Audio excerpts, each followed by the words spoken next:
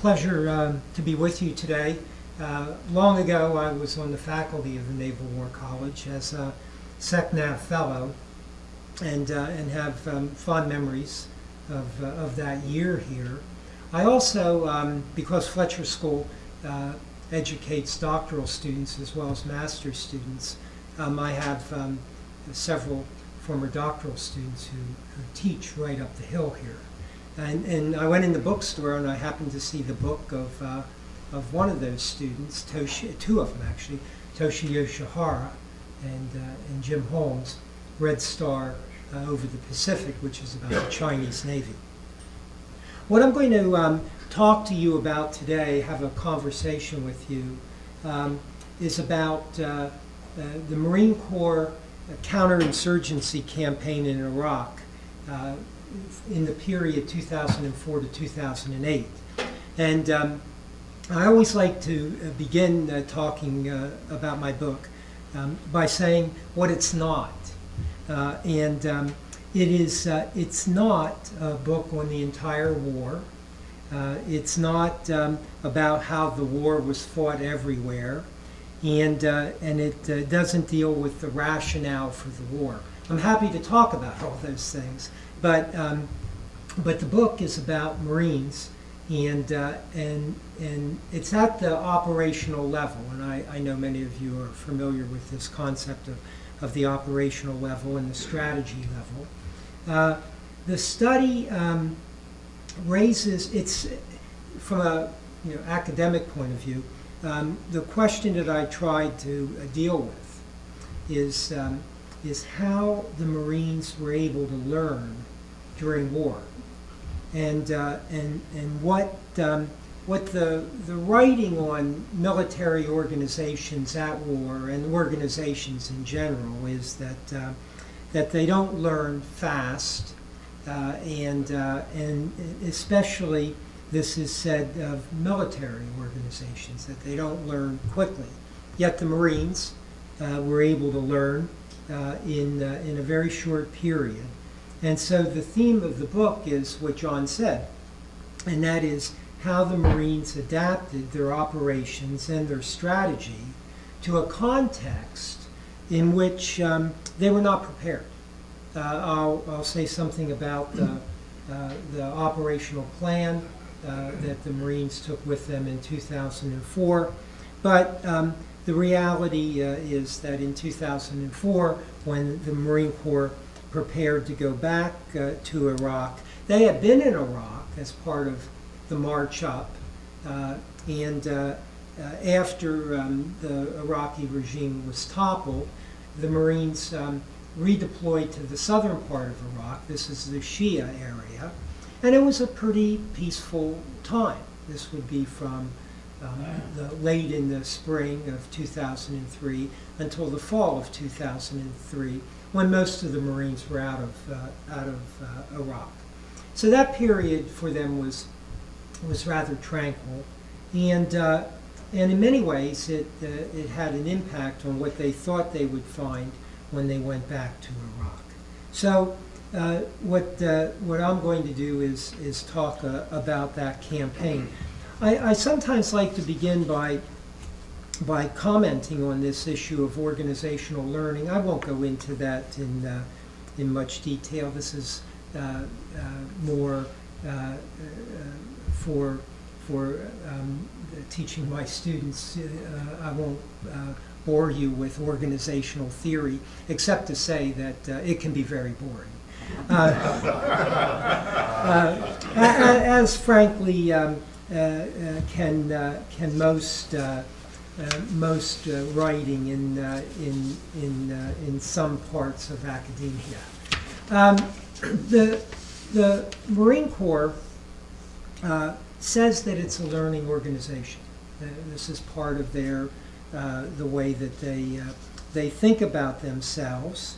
And uh, in many ways, I would say that uh, the Marine Corps has to be a learning organization because uh, often uh, it, uh, it will find itself uh, first in the fight.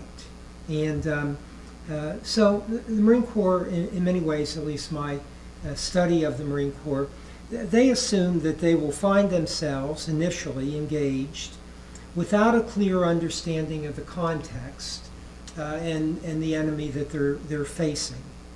Uh, Victor Krulak, who wrote this um, book that I think every Marine has to read, uh, First to Fight. I have not yet met a Marine officer who's come to study at the Fletcher School with me who hasn't read it. I ask every one of them when they arrive, have you read First to Fight? Of course, is the answer.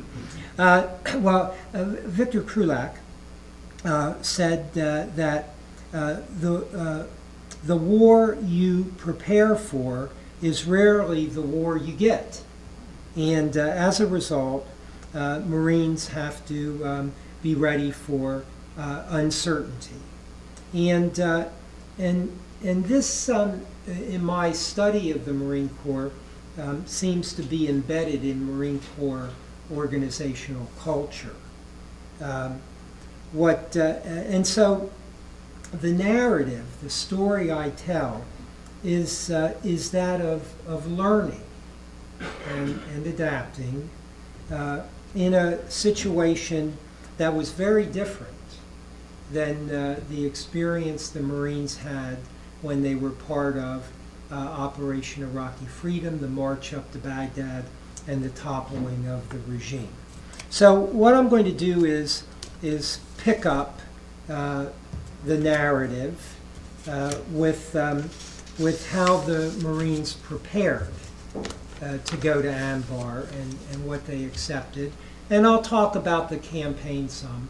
And then um, it might be uh, more fun for all of us if, um, if we you know, chat about uh, this, uh, this campaign after I uh, lay out uh, some of the, the, the, specific findings.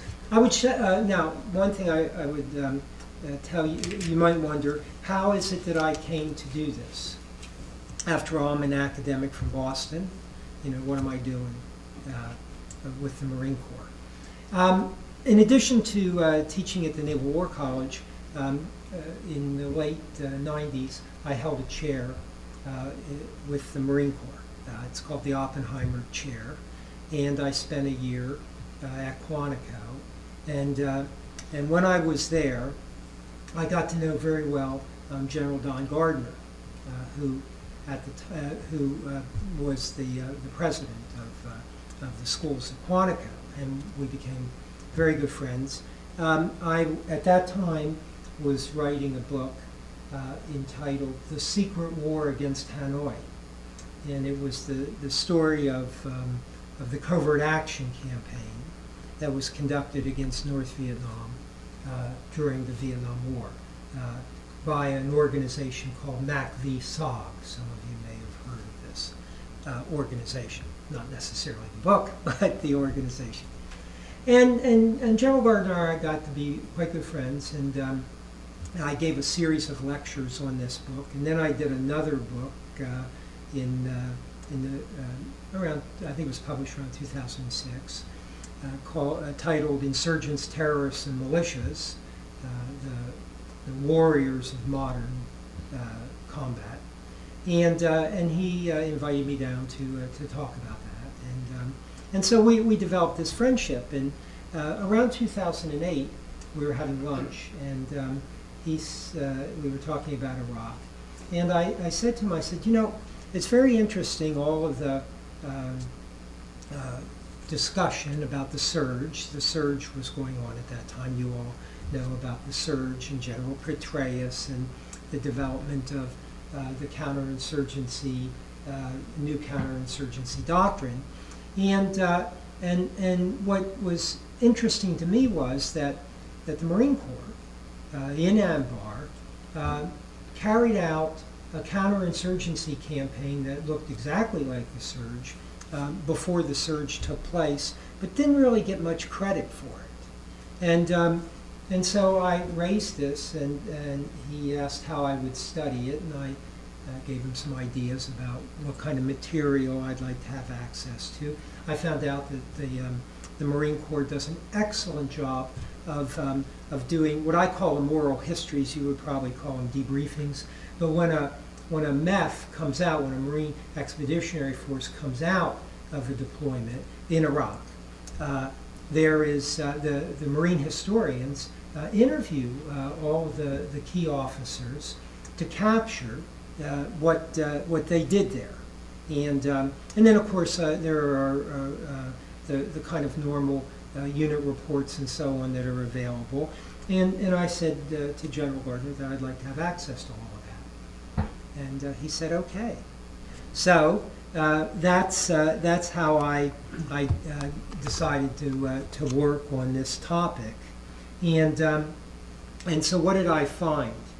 Well, I found that um, that when the the Marines um, prepared uh, to uh, to go back to Iraq in uh, in, in March of 2004, uh, they were going to send um, part of one MEF, uh, so part of uh, the uh, First uh, Marine Expeditionary Force, um, that um, that their assessment of what they expected to find there what can be uh, uh, uh, characterized as a generally permissive environment. Um, now, this is uh, uh, they're they're preparing their um, their operational plan in the late fall and and, and right after in the late fall of 2003, and um, I uh, interviewed the um, the uh, uh, head of intelligence for the MEF, uh, who who said at the time, uh, Anbar, which is in the news now, as you know, quite a bit, um, uh, is generally permissive, meaning that uh, we don't expect much of a fight, although there are pockets of resistance. Uh, but um, the the campaign plan for one MEF essentially uh, expected um, uh, to uh, to enter a, a relatively benign environment. Then Colonel Joe Dunford, of course, uh, many of you will know the name uh, Joe Dunford. Uh, he's now the ISAF commander in Afghanistan. Uh, now General Dunford. I knew him when he was Major Dunford. Um, he studied with me at the Fletcher School. Uh, Joe said at that time he was the um, the uh, uh, first uh, Marine Division's chief of staff, and uh, he uh, he was involved in the planning for this deployment. And he said in uh, interview, um, we were not we were not talking about an insurgency at that point. The word insurgency wasn't used early in 2004. And so, based on, on these suppositions, one MEF drew up uh, a, uh, a campaign, campaign plan for Anbar that essentially looked at Anbar as being in a co- post-conflict phase. So, you know, war was over. Uh, this was uh, post-conflict. Um, uh, the campaign plan, uh, once once one MEF uh, arrived in Anbar, uh, they found uh, quickly that the situation was much different. Now, how do we account for this uh, bad, uh, bad assessment of the situation? And, and it, it really goes to um, how, uh, how little um, the American intelligence community knew about uh, Anbar and, and about Iraq in general. And, and, and also the fact that there, was, there was nothing in, in Department of Defense planning and CENTCOM planning uh, that, that ever thought that there could be what I like to call a war after the war. See, they planned for the, the conventional war, but could there be a war after the war? And that idea uh, was not part of, uh, of, uh, of the, the way the, uh, the Department of Defense, uh, oh, uh, the Office of Secretary of Defense, or the intelligence community um, thought about uh, the possibility that there could be a war after the war, an irregular war, an insurgency, terrorism, and so on. So the Marines found themselves in another one of those un, un, unforeseen conflicts. That's what General Krulak says. You're going to get there, and it's you're probably not going to uh, uh, be prepared for it. And uh, and the situation uh, at the end of 2004 in Anbar was not good for the Marine Corps. They had uh, uh, carried, they had won a major battle. This was the Battle of Fallujah, and I talk about Fallujah and, and, and what went uh, right there, and, and, uh, and it's a very interesting battle. But in terms of dealing with a growing insurgency, uh, the Marine Corps um, was locked in, uh, you know, that old game called whack-a-mole. You know, whack-a-mole, something pops up, you whack it, it comes up over here. And, and, and that's what they were locked in in 2004 and, uh, and, and coming into 2005. They didn't have enough forces. Uh, uh, there were about, the, the MEF, which included uh, an Army uh, brigade, was about 25,000. And Anbar's a big place. And so they, they, didn't, they could, when they found insurgents, they could eliminate them, but they couldn't hold the ground. And the, and the problem was that they needed to be able uh, to hold the ground. So uh, they come into uh, 2005, uh, and it, it's at this, it, 2005 is one of these important learning, I call it learning junctures, learning points for, for the, the Marine Corps. one MEF, two MEF replaces one MEF. And um, uh, in, uh, in this period of, uh, of 2005, um, the Marine Corps um, uh, gains uh, ground truth about uh, what's the nature of, of the enemy here that we're fighting, what's the nature of the adversary.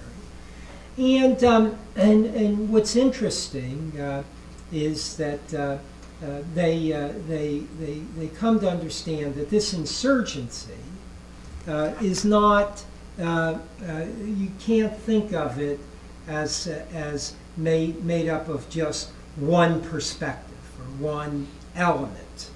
But, um, but the insurgency is really a coalition. It's an interesting coalition uh, of, um, now this is in Anbar, so um, this is all Sunni, no, no Shia here. It's all Sunni area. Um, and uh, the insurgency is, is made up in part of what I would call uh, Sunni nationalists. These are uh, some of them former regime members, members of the army, uh, who, um, who saw uh, the U.S. Um, intervention and then the empowering of the Shia leadership in Baghdad as, as a great loss for themselves, and, and they organizing to fight against uh, American presence. Uh, there, there also, uh, in uh, Anbar at this time, is a large uh, influx of, uh, of internationalists. These are um, Al-Qaeda members or people, men who identify with Al-Qaeda and, uh, and, and, and Iraq, and especially this Anbar region for, the, uh, for Al Qaeda, uh, had become the central front in, in the global fight. Now, that, you know, this is um, this Al Qaeda organization believes they're in a global war, and uh, and and uh, and with the U.S. Um, uh, intervention in Iraq, they saw this as opportunity. In in their narrative, they they they hoped um, to be able to inflict on the U.S. Uh, what they believed was the, uh, the defeat that they inflicted on the, the Soviet Red Army uh, in Afghanistan. Now, this is a narrative. That, uh, the, who beat the Red Army in Afghanistan were not uh, internationalists from, from different parts of the Muslim world, but Afghans. But nevertheless, they have this narrative, and, and so their narrative was that uh, Iraq uh, could be this central front. And so you have the, they're sometimes called Salafis, you have these uh, jihadis who uh, are showing up in Anbar and, uh, and elsewhere in Iraq. Uh, there are Iraqis who uh, adhere to this point of view as well. And they form a coalition. Often insurgencies are coalitions. They're not made up of just one faction. And, um, and that can be their weakness this can be their weakness. Now, what happens uh, in, uh, in, uh, in Anbar is uh, in, uh, in, at the end of 2004, uh, early 2005, uh, Al Qaeda in Iraq, and, and, and they're one of the factions now in this insurgency in Anbar. They want to take control of, uh, of the insurgency. So they, uh, uh, they're in a partnership, but now uh, they want to, uh, they want to take over uh, because they see this fight in Iraq in a global sense.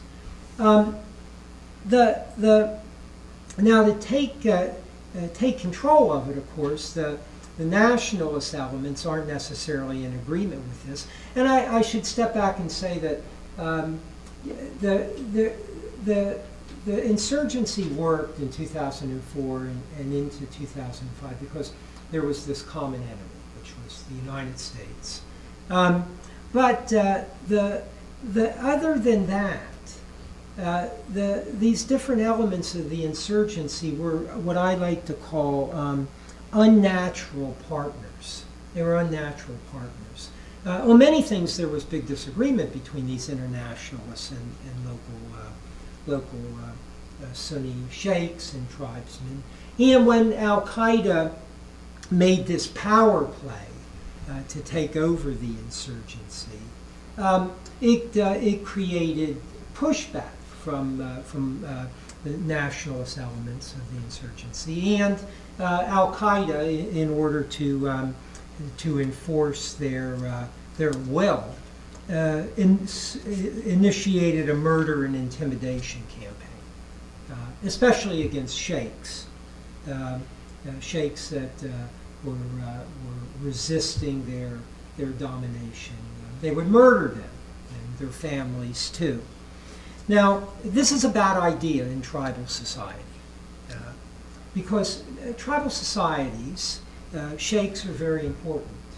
And uh, if you murder a sheikh, uh, uh, you're likely to get the whole tribe coming after you. And, uh, and, and I'm, I'm, I can say that um, what, what this murder and intimidation campaign did was it, it led some of these sheikhs to start to look elsewhere for help.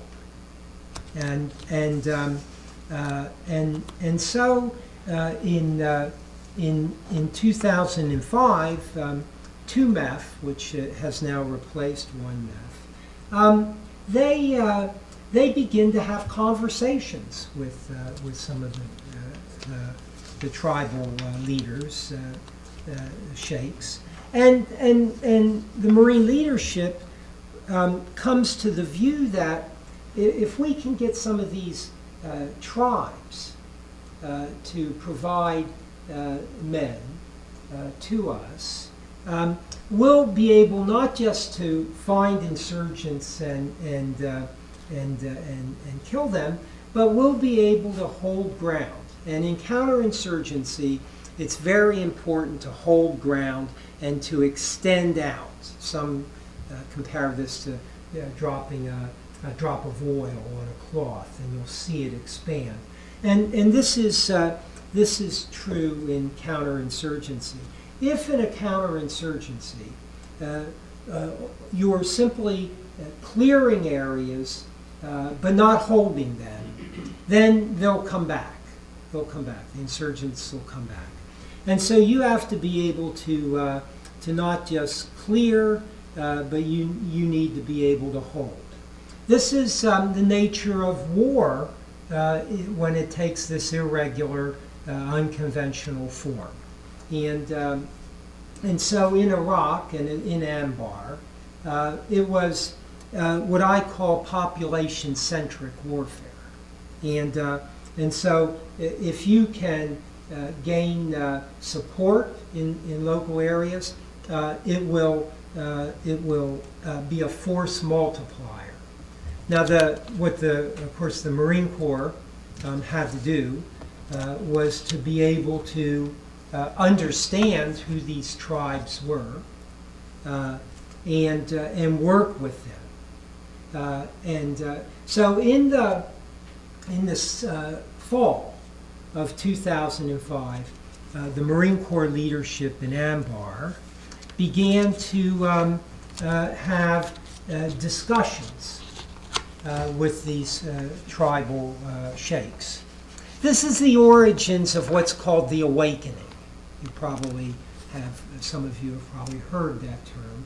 The Anbar awakening, uh, the Sunni awakening, uh, which um, often is identified with the surge, which comes uh, in, the surge begins in the spring of 2007. But the Marine Corps was uh, uh, uh, involved with the awakening before it was actually called the awakening. But uh, these, uh, uh, these sheikhs uh, that, uh, that became part of the awakening, which was to resist uh, uh, Al Qaeda and, and, uh, and, and the insurgency. Uh, so, um, in 2005, then, one would say that the Marines recognized an opportunity. Uh, there was an opportunity, the insurgency was fragmenting, and this opened the door for this opportunity. Uh, and, uh, and so uh, began in November and December meetings between the, the two MEF leadership and, and, and, and the, some of the, the most important uh, tribal sheikhs in Anbar. This is an important, another one of these important learning points, or I call them learning junctures. Uh, now, uh, of course, what the, the Marines recognized was that uh, in order to engage uh, with, uh, with the, uh, the, the sheikhs and the tribes, that they were going to have to build this into their operational plan. And, and so what's very interesting is how uh, what 2MEF was learning in 2005 was, was coming back to 1MEF, which was preparing to go back in 2006. And, and the cycle of learning here is very interesting. Uh, and, and, uh, and it has uh, a, an important impact on uh, 1MEF's uh, plan uh, for 2006. And, and so uh, the Marine uh, 1MEF returns to, uh, to Iraq uh, in 2006. Now, this is the most interesting year. And, uh, and let me uh, comment uh, a bit on this year. Um, uh, many thought, including um, uh, some uh, important uh, members of Marine intelligence, uh, that Anbar was lost. Uh, that uh, uh, the Marines uh, had lost Anbar, and, uh, and, and, and, and that was that. Um, this was at a time when, uh, when one MEF uh, was going back, uh, back to Anbar with a new operational plan that sought to capitalize on the engagement that was taking place between uh, the Marine leadership in Iraq at that time and uh, the, uh, uh, the, the tribal uh, leadership, uh, some of the key tribes in Anbar. So you have this ironic situation. On the one hand, you know, the, the, the one narrative, Anbar's lost, uh, and, and, and another narrative, which is the narrative that I, I wrote about and, and, and others have written about, uh, and that is that, that um, uh, because of, uh, of this understanding of the environment, um, the, the Marine Corps developed uh, uh, a, a new approach for uh, 2006. It's a classic counterinsurgency approach, but in which engagement with, uh, with uh, the, the tribes of, uh, of, of Anbar is seen as that important force multiplier. If you can get uh, large numbers of tribesmen to serve in the Iraqi or the Anbar police, um, you'll be able to uh, expand uh, your control over Anbar. And as you do that, you will, uh, you will uh, uh, take, uh, take control of the insurgency. And, uh, and so um, this tribal engagement became a, very important part of, um, of, of what the Marines did in Anbar in 2006. And, and the story of 2006 in, in Anbar is how one MEF executed this campaign plan and, uh, and, uh, and, and really turned, uh, turned the tide, if you will, uh, in, uh, in that part of, uh, of the, the, the, the war after the war in Iraq. Uh, and, uh, and so, uh, what's interesting is that uh, as 2007 begins, uh, in, in, in March and April of 2007, this is just as the surge is taking place in the Baghdad area and, and, and, and the army is, uh, is adapting and, and employing this kind of counterinsurgency approach. The, the, the fight in Anbar uh, drops uh, precipitously. The number of acts of violence and so on go down quite a bit. And, um, and, and that's a key turning point. I interviewed um, General John Allen and others who were the, the commanders of, uh, of, uh, of 2MEF that went back in 2007. And, um, and, and uh, uh, they, uh, they didn't know when it was going to happen. Uh, you know, war is not a science. Some people try to think it is, but it's more art than a science. But they were ready so that when, when this violence did come down, then, uh, then they, could, uh, they could capitalize on it and, uh, and help uh, move the awakening uh, into, um, into uh, a, a consolidation period. So um, this is the story of Anbar. It, it's an important part of the war. It, um, it was a, a, a success at the operational level. Um, uh, it was not, uh, uh, and, it, and it focused on a, a particular part of the fight. And now, of course, we see that, that Anbar is in the news quite a bit. Um, the dean at the Fletcher School, um, uh, Jim Stavridis, our, our, our, our new dean, is former SACEUR, and uh, Admiral Stavridis uh, said to me the other day that I have to write a sequel. Uh, uh, Al Qaeda takes Anbar back. Um, that's not a happy story. Um, and I can comment on that. But this is what uh, the book's about. It's about uh, the Marine Corps and counterinsurgency and how uh, the Marine Corps, uh, in this particular instance uh, in Iraq, uh, proved uh, to be quite a- an adaptive organization that, uh, that came to understand uh, the, uh, the adversary. They didn't understand them going in. They figured it out, uh, and, and they were quite successful at the operational level. This was not, you know, U.S. Overall U.S. policy in Iraq. That's another story. So I'll, I'll stop with that, and um, and happy to um, have a conversation with you uh, about um, about this and uh, and and, uh, and and Iraq more broadly, if uh, if you would like. Thank you.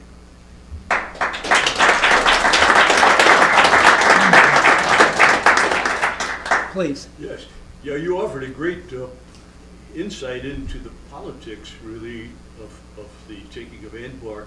I'd always saw it as a tactical victory for the Marines more than a, a, a uh, one that had a political component like this. What is the relative magnitude of the for, the Marine forces compared to this uh, supporting uh, force that really allied with us? Uh, and could the Marines have taken the Anbar by themselves? Well, the- I think to answer the second fir- uh, question first, no. Um, Because they were, it's an economy of force. Anbar is a huge place, and, um, and, and, and, and it's an urban battle. Uh, You know, if you go from Fallujah up the Euphrates all the way to the Syrian border. uh, it, it was a, a big place to cover. So the, the Marines really needed um, uh, help. Uh, and, and initially, the idea was that, that uh, uh, a reconstituted Iraqi army would have units deployed there. But the, the army that was reconstituting was heavily Shia, so they, they, they, that wasn't going to happen. Uh, so the, the, the answer was uh, local, uh, tribal militias. Uh, and and the, the tribes had these militias, and so they had to be mobilized. Now, um, the way that it would, would, would work is that Marines would take control of an area, they would secure it, and then these tribal militia would become the police. The Marines would be able to protect them against any major push, and, and they would, you know, pacify and secure and hold the area. So you definitely need numbers in, in these, these types of wars. I mean, one of the misconceptions, in, in my own view now, is that um, while uh, the United States um, had a force that was more than adequate uh, to defeat the Iraqi army, um, that force was way under uh, manned uh, for this war after the war. And, uh, and so uh, you, you, you need help. And, uh, and, and, and, and that was important. Now, there is a, you know, war and politics, right? I mean, war is, and politics and, are always connected, policy and strategy, taught up the hill here. Uh, and um, uh, this was true in Anbar. The, the, the, the political uh, understanding that Marines had to have, and, and cultural understanding, you know, down to um, you know the platoon level, uh, was very important because uh, they they had to be able to interact, and this is a different culture, you know, with um, with a different set of, uh, of, of values, and uh, and so Marines had to, had to be able to adapt in, uh, to that. Um, one of the the uh, several senior Marines really got this, but the person who I thought was was most well, a couple. John Kelly, uh, General Kelly, uh, uh, terrific insight and understanding. Uh, uh, General Allen, General Dunford, um, uh, and, and, and, uh, and many others as well. So they, they understood the political dynamics that, were, that had to be understood and, and, and, and embraced uh, if they were going to build a force that was able to secure this big area. Thank you. Yeah. Yes. Uh, you mentioned that the uh, tribal people were mainly uh, Shia. Uh, the Well, the tribal people in Anbar are, are Sunnis. oh, they are. They're Sunnis. The Shia, yeah, if you look at Iraq, if you look at a, a, a, sort of a, a, a sectarian uh, and, and, uh, and, and tribal or ethnic map, uh, uh, there, there, are, uh, there are areas that are almost exclusively Shia, and that's south of Baghdad. Um, then if you go uh, west of, uh, Baghdad, Anbar, and then uh, in some areas above Anbar, uh, it's, uh, it, it's, uh, it's mainly Sunni. Then uh, further up, it's Kurd, and then there's an area of overlap. And, and Baghdad is the center of this overlap. So in, in, in Anbar, the, the, the, these, were, these were Sunni, and not Shia, they're Arabs, but they're, they're Sunni. Now, um, they're a certain type of, uh, of, uh, of, of Sunni uh, in terms of their view of, uh, of the Quran and, uh, and of the role of religion, which is different than, than the view that, that these Al Qaeda internationalists had. So, um, you know, complicated terrain. But, but that's, in, in Anbar, it was, uh, it was Sunni. Now, they saw, uh, one of the reasons why they, they didn't like the United States uh, was that they saw the U.S. empowering the Shia and putting them in power in Baghdad. So that's a, that's a whole other story, but, but an, an, an important uh, aspect of it. But the tribal people were Sunni, and Yeah. and yet they uh, they helped us. Yeah, because of Al Qaeda. See, the, you know, Al, Al Qaeda, uh, um, uh, they, they, they, they, they thought that um, their view was that uh, they wanted to institute a certain type of social order and political order in Anbar, um, and that, um, that that that was it. And uh, and so uh, they they I call it a power play. They wanted to take over and control this insurgency uh, for their own ends.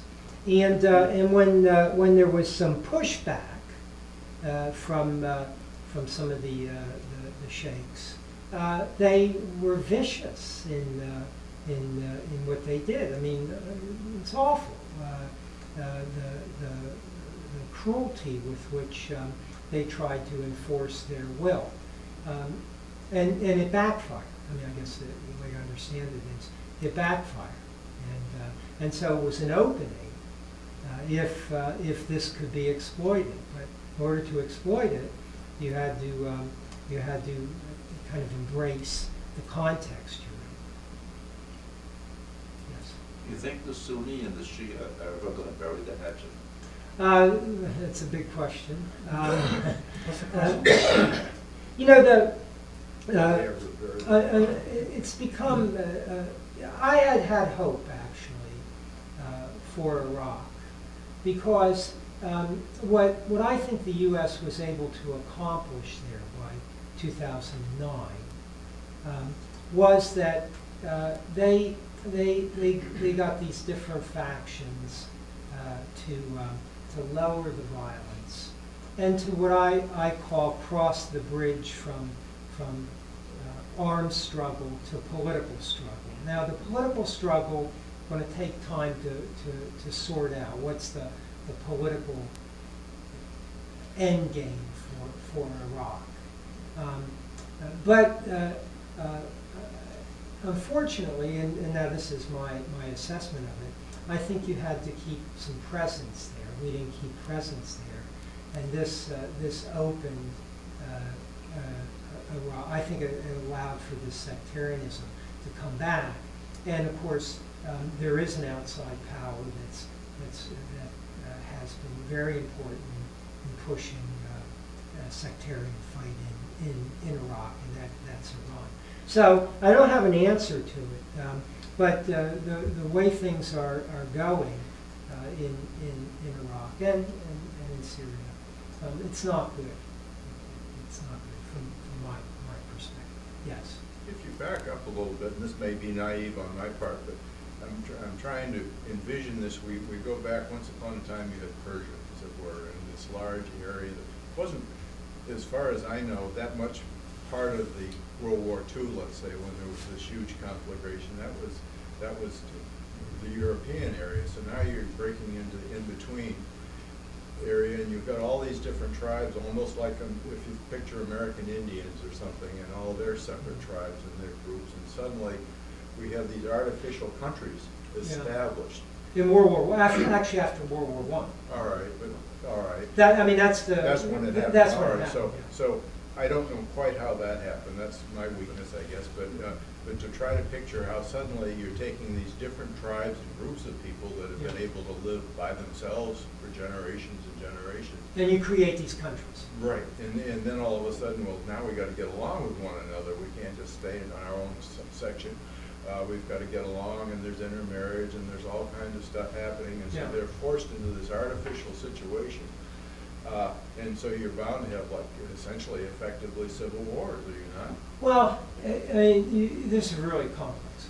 Um, That's, that's all I'm getting at. Yeah, no, it- it- you're, you're. Trying to you're- learn. Yeah, no, your question is the right one. Um, and, and, and this goes to how those nations were created in the first place, which was after World War One. And, and, and, you know, under the League of Nations, they created what they called mandates. It was in many ways a, a way of colonial powers keeping control, of the British and the French, over these areas. And they created countries that were, were not homogeneous. But that's true in many parts of the world. You know, if you look at, at the new countries that emerged after World War II, very few were completely homogeneous. Um, so there, there has to be some kind of, of political development. And unfortunately, you know, the story of, uh, of this region in particular is that that kind of political development, which, which means that, that, that different, uh, different uh, elements um, uh, come to, uh, uh, to some agreement about common principles and so on. It just didn't happen. You had military dictatorships in, in several of these places. And in Iraq, um, Ba'athists were, were in power for quite a long time. They represented one particular uh, part of this, uh, this makeup. And, uh, and so, you know, you have a history of, uh, of, of this uh, confrontation. And this is not easy, uh, easy to, uh, to sort out. Sure. Yeah. Did the rules of engagement uh, create a problem for the Marines? Well, you know, the, what the Marines, of course, uh, realized was that um, you, uh, you can't stay in, uh, you know, you can't commute to the war. This is what Petraeus used to say. You have to, uh, you know, you have to put uh, yourself in, in, on the ground and stay there. And, uh, and so this, um, this, this had a of course, this can undermine force protection. And, um, and, and, and, uh, and yeah, it, it- it had, a- the rules of engagement um, were, were an important issue because, of course, we, we think about uh, conflict, uh, we want to limit our casualties, but in these sorts of wars, um, you have to engage in the population. And so uh, it's hard. And then how you use force, i- i- it's also a big issue. Uh, You know, and and the other side is good at trying to, uh, to, to get you to do things that, uh, that hurt your reputation uh, because they fight in and among the population. So rules of engagement in these kinds of conflicts, very, very hard. Uh, And um, uh, it's something that the Marine Corps had to deal with. Has the climate and of uh, been fairly stable recently, or have we lost everything? No, it's terrible in. You know, what you had is, um, is, uh, is uh, Al Qaeda coming back. Um, There's, uh, it, it, it's not good. Um, and, and it's, it kind of illustrates what's happening, uh, uh, now, uh, in Syria and Iraq together. So there's, a wider, fight that's taking place. But no, Anbar is not good, and, and, and, and it's unclear whether, um, whether uh, the Iraqi government can, uh, can get control of, of that area. Um, you know, I, I was, I love Skype, you know, because you can Skype with everyone, and I, I spent a lot of time Skyping with the former uh, national security advisor of Iraq. Uh, and uh, we were, he was saying uh, about two weeks ago that um, getting, uh, getting their hands around that situation is, uh, is, is very difficult for them. Yes? to carry that a little in a different direction, when we first went in there, and we simply gone in, said to the Iraqis, as soon as we get Saddam and the rest of the twelve most wanted in our deck of cards, and make sure there are no WMD floating around, we're out of here. Yeah. And we had done that. What do you think the state of Iraq would be today? Yeah, it's, I don't have a crystal ball, um, but this is what I hear from, uh, from some of the Iraqis that I've dealt with over the years, that, um, that that's what, what we, we should have done. Um, But, uh, you know, we, we, we did things that um, uh, made withdrawing um, difficult because of the, the disbanding of the, the Iraqi army, the disbanding of the government. You know, we, we, we created, we, we facilitated uh, instability. The year 2003, in, in, now, in my uh, book, I call, I, I characterize U.S. policy in Iraq in 2003, really, uh, from you know, the takedown of the government end. Uh, I, my title is All the Wrong Moves. And, and, and I, I, you know, of course, writers like that, you have to have some catchy chapter titles. um, but uh, in, in any ways, um, hmm. you, could, you could look at U.S. policy in, in Iraq in 2003, um, uh, after the, the, fall of the regime, as, as doing things that then made it hard to get out. You know, we, we actually, I mean, that was Rumsfeld's plan, we're going to have everyone out by, by August of, uh, of 2003 you know, several years down the road. It's kind of like the, you know, the Kaiser. He said everyone will be home by November, and they were, but it was four years later. and, and, and the same with uh.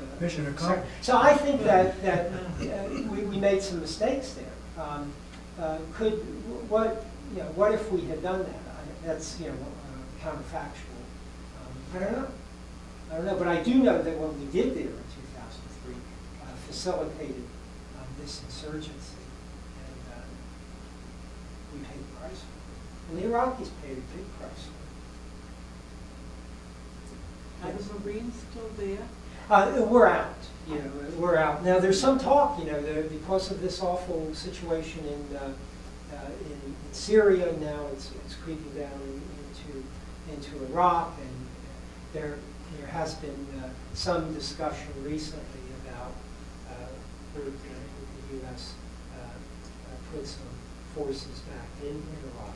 I don't expect it because I, I think that um, the, uh, the- the- that Washington uh, approach this war uh, in Iraq is not our war. And, and so um, I can't imagine uh, them uh, re-engaging uh, there. Yes. Suppo- Supposing we'd gone ahead in the first Gulf War to Baghdad, you think that would have, I don't know. Um, that, that, I've studied that war quite a bit, and, and uh, what was what's so interesting about that that war was that two of our allies really were were, were, were so strong uh, against us doing that, and they were important allies. One was Saudi Arabia, and the other was Turkey. it just seems that we leave these wars when they're half done. Yeah. Then we have to go back. Well, in that case, uh, we, um, uh, I think we thought we could use tools that would, would, would contain that situation and, and, and would deal with um, uh, the big question, uh, which, um, which was the WMD question in, in 1991. And, uh, If you look at the, the UN um, uh, agreement that was signed, one important aspect of that was that, inspectors were supposed to be able to have free and unfettered access, uh, so that you could ensure that, uh, that the uh, chemical and biological and nuclear weapons would be, uh, would. And, and of course, uh, the problem with, with that is that the UN didn't control the ground, and so uh, Saddam was able to, uh, uh, to, to keep that issue uh, from being resolved, which becomes an issue in 2000, after 2001. All of a sudden, uh, Iraqi weapons of mass destruction uh, become the basis for uh, intervening in Iraq. So, you know, not having solved that problem in the aftermath of the war, ends up being a, a precipitant of the, the key uh, factor uh, for the, the intervention in, uh, in, in 2003. So, it, you know, in, in many ways, these wars are connected in, in ways that, um, that you know, if, if you had resolved the WMD question, then um, the, the, the, the rationale for uh, intervening in Iraq, which turned out to be, of course, not true. Uh, there, there, there was no WMD, but um, the assumption was that, that there was. Um, other questions? Well, thank you very much.